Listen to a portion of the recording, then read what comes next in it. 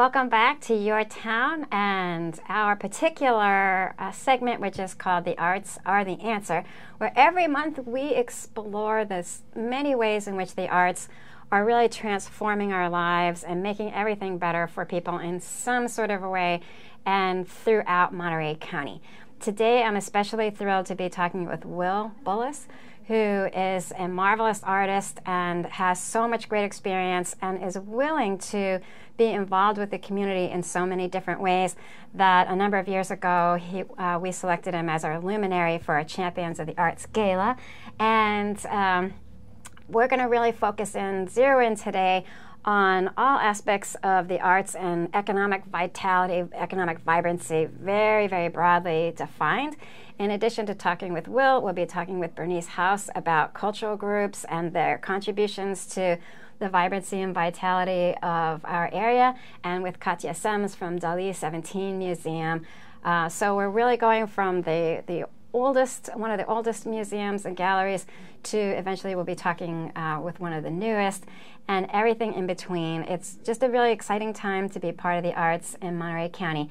And it's very exciting for me today to be talking with Will Bullas. Well, thank you so, so much for being with us today. It's my pleasure to be here and to see you again. So let's talk about the Carmel Art Association. Can you get people situated on where exactly it is and and what it really looks like as they approach. Because even the approach to the gallery is so beautiful. Well, we are uh, certainly not your typical gallery in Carmel or in any city anywhere. Um, we arguably are the oldest artist owned and operated gallery in the United States. Uh, we began our. That's such an honor for us. I oh, mean, that's amazing. Well, I think I think so, definitely. It's certainly an honor to be a member of that organization, let alone be president of the organization. Yeah. The um, uh, uh, organization, the Carmel Art Association, was founded in 1927 ah. uh, by a group of artists who uh, uh, originally started out in the San Francisco Bay Area, uh, who would come down on vacation and paint on the Monterey Peninsula. Well, they decided this was a great place to even come and live, so they all had homes and bought homes, studios, and so on. But they also decided in 1927 they needed a place to show their artwork okay mm-hmm. because uh, um, they did uh, believe then as i firmly believe now that we artists are creators and we create to show other people yeah. and show our works uh, uh, and it, uh, all of us feel that within uh, within us. And today is a, where we have come after so 90 years. Today, uh, August is our celebration month, and so we've celebrated 90 years uh, with a with a brand new publication uh, that we've come out this year, and we're we're so pleased with that. some wonderful dynamics happened within the Carmel Art Association. In 1934, we made a bid. We I wasn't there, obviously. hopefully, it doesn't show, but in 1934, the Art Association made a bid on a piece of property. Okay. It's on Dolores Street yep. between 5th and 6th, mm-hmm. okay? Right uh, near the post office. Uh, right near the post office in the core of downtown Carmel. and we, but we also also owe so much to Monterey. So sure, many sure. of our members are, uh, because our membership comes within a 35 mile radius. But uh, uh, on Dolores Street between 5th and 6th, there was this wonderful piece of property, okay, and which today is still there in a historical building, and we are still there. Uh, the big difference between 1934 and today is today we own the building, okay, and the property. It's ours, which is a ah. very rare thing in, in uh, Carmel because we are not landlords, okay. We is that why you were able to make some changes uh, to make it more accessible recently? Well, somewhat recently. Absolutely. Because you have control. Yeah, we have total control, okay. We uh, hire staff. We rarely, but we do fire staff on occasion. But uh, it's a uh, it's an involvement that has happened over many years, 90 years, that's turned into, and we're still fine tuning it. It was tur- turned into an absolutely wonderful organization of about 80 active members. That's amazing. Um, That's a lot. It is. It, it, really is. And to keep those those cats or bats or however you want to refer to it in not not in line, but all fluttering in the same area, yeah. uh, has been uh, not a challenge so much, but as a, uh, a need and a want. Okay, because unlike the so-called, and I hate, hate using terms like commercial galleries, but unlike commercial galleries, we have the great advantage of not only having the property and being able to do whatever we want to with it. Every month, the first Wednesday of every month, we install a brand new show from our active artist membership. Uh, that's amazing it, it rapidity. Is. I mean, how do you how do you manage to do well, it every single month? Every month comes around after, really after very fast. After 90 years, we have fine tuned this. It's become uh, it's it's become an art form for us. In fact, we refer to it as an Olympic sport. Okay. The artists come together. We have out of our membership, including the always inclusive with the board of directors, our 15-member board, mm-hmm. uh, are the people who take care of uh, hors d'oeuvres, pouring wine, the kitchen, and this all rotates, so it's not the same. People don't get the same job. Because in addition to having the art and putting that all up, mm-hmm. You also welcome the whole community to come. There's a reception every single time, right? Every single time. That first Wednesday, we rehang the entire gallery. So, and we rely so much on our visitors, okay, that come to the Monterey Peninsula, whether it's here for a function, mm-hmm. and we are so lucky uh, in the fact that we have functions year round. You know, whether it's jazz festival, Bach festival, uh, Laguna Seca, etc. It brings in people from all over the world. So they pop in, me, whatever they're doing, they are going to pop in. They pop in, and no matter when, and, and, over so many years, we've made friends with yeah. internationally. Uh, they come back again. They come back again, again and again. Yeah. And the way we welcome them is, particularly with that opening uh, reception, which is the Saturday following that first uh, mm-hmm. Uh, ins- installation of brand new work. They come in, and within the past oh, five or six years, I have been at the front door saying, "Welcome. Yes, you're in the right place. Yes. Come on in and have some wine." Okay. They'll come in, have a glass of wine, uh, some uh, hors d'oeuvres that our, our staff and and uh, board of directors put together. It's always wonderful and fun because each each um, uh, uh, one of the members of the board of directors kind of takes their turn at who's in charge of the kitchen. Okay. Oh, and so there's Oh, always new hors d'oeuvres. We may have That's pure vegetarian one time, Sure, and sure. another time it'll be like a small meat market. But uh, but it's a delightful change. So there's always something new and something different. Music every time. Mu- music just about every time. We have artist members who have sons, uh, daughters who play music, and so on. Then some members, uh, uh, some uh, uh, musicians among our organization, of active artist members who play. Uh, Ann Downs and her husband, uh, uh, d- Ann is a sculptor. amazing. She's Yeah. an artist, and she's a wonderful. Uh, um, Celt- I think primarily Celtic Yes, music type stuff. the real it's absolutely delightful. so we have we have a whole variety of thing, and within that organization of about uh, oh, 80 active members, we have people who are terrific at, at assembling layout and so on. And it's it's Sure, not our sure, mission to uh, eradicate middlemen, okay? But there's so much that we can do on our own, Mm-hmm, okay? And we know we have the power, we have the tools, and uh, thank goodness for today's technology because we are aware of the technology and we put it to great use. Okay, so we are able to put out our our yearly uh, catalogs uh, of all of our artists, uh, which is a great thing, and special publications. So we can do everything in house now. What are your hours? How can somebody come in and grab one of these beauties? too? Okay, these are these uh, little catalogs catalog. are free to the public. You just walk in and get your free catalog. Uh, we are open 11 to I was 5 just going to ask you. 11 to every 5. day. Okay, uh, No uh, all year long, long uh, except major holidays. I think Christmas and New Year's, et cetera, et cetera. Okay. Yeah, uh, St. Swithin's Day is off the list, so you're welcome to come then. Uh, Arbor Day we're open, so uh, you know the, the lesser holidays.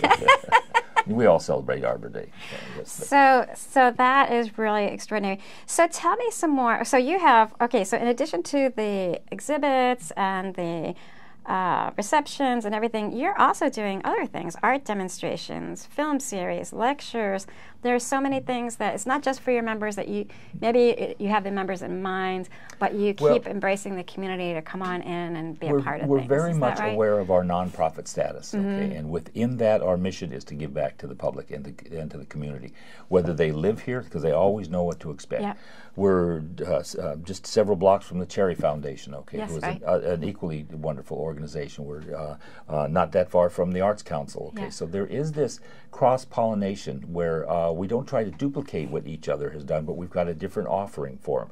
And so, you actually, if you're coming for the summer, okay, or you live here on the Monterey Peninsula, and particularly some of our older um, uh, uh, fans and members and visitors, okay, whether it's from the Carmel or the Monterey Foundation or whatever, they know there's something going on. They put it in their schedule, and we try to maintain that continuity uh, throughout the year. So when, when we and uh, obviously our anniversary month in August, okay, that's always August. So we always have a, a miniature um, uh, uh, raffle going on, some things that are exciting. So there's always that community uh, uh, uh, draw that we count on, but we are, are also aware of our international draw. Okay.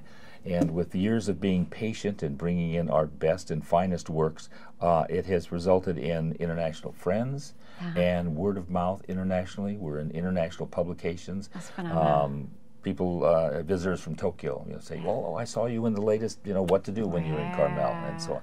And that's what you want. It's a Yeah. long-term investment, okay, but it's such a uh, high-profile, benevolent uh, uh, place to be, without a doubt. So, so let's talk about you. Um, this is not something that you need in, in your professional life. What is it that draws you? What drew you first to the Carmel Art Association, and what in the world has compelled you to take a leadership role over and over and over well, again? well, it's it, it's like I, th- I, think it's like anything, and it's for me, it's very personal. Okay, um, this is the way I make a living. Okay, I've been out of work for 40 years. Okay, actually, I tell people I'm between jobs. I'm holding out for upper management. So if you hear of anything, let me know. But it's become very personal to, to me, my lifestyle, uh, my family's lifestyle. Uh, my wife has, has not only been my partner for 45 years, but also my business partner for Sure, 45 yeah. years. Um, and we artists have access and the tools with today's technology. And I tell my fellow artists that there isn't anything we can't do and any place we cannot go. Yeah. And let's go together. Wow. And if they need leadership, I love stepping into that role of leadership. You know, follow me. You know, the water is not that deep. You know, it's not that deep and it's You're not that so cold. encouraging. Yeah. Well, it, it, be, there's a lot to be encouraged about. you Yeah. know. we live in this golden window of opportunity with technology. In fact, we live in this golden window called life. Okay, and realizing that it's only so big. Okay, um, uh, but passing on what works and what doesn't work, and not being afraid to be wrong. Mm-hmm. Let's explore this together. And at the same time, what can we do for my fellow man? The first time I met uh, Jane Goodall, she asked me, uh, or I asked her, I said, How do you decide where you're going to give and what you're going to do? She says, Look down at your feet, see where you're standing, start there. wow. And That's then move. You know, uh, the woman's amazing, obviously. Um, but, uh, and I thought, okay, uh, I'm a member of the Art Association. I have been since 1980. Yeah. And then when I do the thing on my fingers, that's a long time. It is. Okay, and I've got to know so many of these people. Uh, we've lost so many wonderful artists. Okay, but that's part of that golden window. Okay, and to take advantage of that while we can is is is heartfelt to me. It's it's morally right for me. It's one of those things that I have to do. It's part of my life. Uh, it shows in my work, I think, and even though the majority of my work is humorous. But the serious angle of my work has, has garnered me the uh, um, uh, signature memberships in the American Watercolor that, yeah. Society, the Yeah. National Watercolor Society. I was, unbeknownst to me, except by for a letter I got in the mail, elected to membership with the Knickerbocker Artists of New Mm-hmm. York, uh, which is a wonderful society of artists, uh, illustrators, and so. And you, you take those, you know, good things come. Be aware of them, take advantage of them, and if you can, spread that around. And my, I have some fellow artists that dive right into it and say, you know, what you told me is gangbusters. Okay, this this works, and I think this is a good direction to go. And people gather to the flame. Okay, if it's warm, they gather to that. My wife raises uh, um, uh, Japanese quail. Okay, and they have to be kept under a light bulb for a certain amount of time, and they all gather together. And They're the cutest things ever. yeah, and they are, and, and there's there are there is certainly strength in numbers. Yeah. My the art association, I want to call it my association. It is, it is it's our association. Realizes the strength in numbers and everybody doing a little bit to accomplish one goal, and we do that every month, every year, and have done that for 90 years now. And your membership is growing, or the, the people who come uh, to to visit with you, or is that number is growing all the time? Is that right? amazingly and in leaps and bounds um, because it's it's like anything you, you know you spread that good word that goodwill not only by the artwork you show but your attitude and the uh, um, artists in, in previously many years ago were sequestered okay and the gallery owners or the agents kept the artists separate from the clients and so and there was this mystery okay and now uh, with our monthly uh, artist reception and gathering, you can come in and meet that artist who painted that wonderful painting. Okay, And you could do that. So, because your hours are so long and you're there all the time, very reliably, it's not like you have to find out, oh, what's the one day they're open. Oh, yeah, um, exactly. So, so if somebody were to encounter something that they just absolutely love, but it's kind of in the chaos of the, the reception, it's so fun, but it's just, you know, for some people, it's like, a little much to also be choosing a painting to purchase at the same time. So they're going to want to circle back, Oh, right? sure, so, for sure. Um, do you find that people will do that over a period of time, just kind of come back and say, you know, been thinking about this? Because I, I find too that sometimes there's a, there's a, a work and, and I can't get it off of my mind, and then I know that that's what I have to Mm-hmm, Well, there's a, there's a really amazing dynamic that happens within this is because of our uh, rehanging the entire gallery, Mm-hmm. okay, every month, okay. We have a very friendly, okay, but very uh, rigid competition between each other. You know, like, uh, I painted that picture. You'll get fellow artists say, "Oh, I really like that this month. You know, that's that's terrific, great." And then you come back and say, well, "That's nothing. You wait till you see next month's painting." Okay? Ah. And it's that type of very friendly competition because each of us want to be the best in our own category. Okay, and I think we achieve that, and you will see whether it's our printmakers, oil painters, Yeah. sculptors, and it's just one of those things that keeps building on itself. And then when you get the clientele who venture in, and it's it's amazing uh, because I almost always am at the front door, okay, welcoming, greeting people in, Yeah. because I know the value of.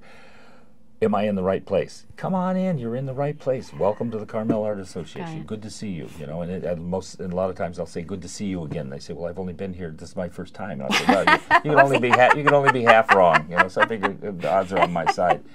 Um, and if someone comes in and they don't necessarily speak English or, the, or fluent Sure, English, you can yeah. tell them, "Come on in," and the smile works wonders. Okay, It- it, uh, and, and they will come in, and then they feel, "Oh, this is comfortable." There's a lot of other people in here, and that builds on itself, and you can feel the friendliness within that. Okay, and that there are no uh, taboos. Uh, if I come in. And I spend some time with the painting. Somebody's not going to jump on me or whatever. and Yes, it's, move along. it's a whole yeah. Please move along. You know, we we have excuse me. We have another tour group coming in in an Yeah, hour. right, so right. Uh, not like uh, uh, the uh, restaurant. And I believe me, I've been in a restaurant with another couple at one time, and they actually came to the table and said, "Could we get you folks to move along? We have to turn this table over." You know. But we have a great deal of patience, and artists are learning that type of patience. And, they're just neat, wonderful people. Most of them have been members forever. I've been since 1980, brought in, brought in by a, a gentleman, Miguel Dominguez, who's been a member since 1972, I believe Ah, there you go. excuse me. But uh, it's it's one of those things where long-term patience, realizing that this is a long-term investment, Mm-hmm. um, it comes back in, in, in spades for sure, and, and everybody feels the, the rewards of that. Uh, So, what if people want to become a member? There's a juried process, right? We just have about a minute left. Let's say somebody is listening and uh, is really feeling like they're pretty close. What do they have to do to become or to try to become a member? It's a, uh, sorry to say, it's a brutal process. Okay? There's so many wonderful artists on the Monterey Sure. Peninsula that are not necessarily members of the Carmel Art Right, right. We've had members uh, who have been trying for many, many years, over and over. We- Usually in April, we have a call for um, Okay. uh, uh, uh, artists. They come in uh, and they uh, pick up a form, fill out the form, uh, and they uh, drop it off by a certain date. we look at all the work online, okay? Uh-huh. Then the finalists get brought in for interviews and to talk more about their artwork. So we try to get a little more personal with those individuals, and we're fine tuning our process Sure, every sure. time. But uh, there's a couple dynamics involved. Okay, one of which we are landlocked. Okay, uh, there's only so much wall space, you know, Mm-hmm, Right. unless we insist that everybody paints only this big, you know, Yeah. and you got, and we have artists that paint some very large pieces. So it's, it gets brutal on that end.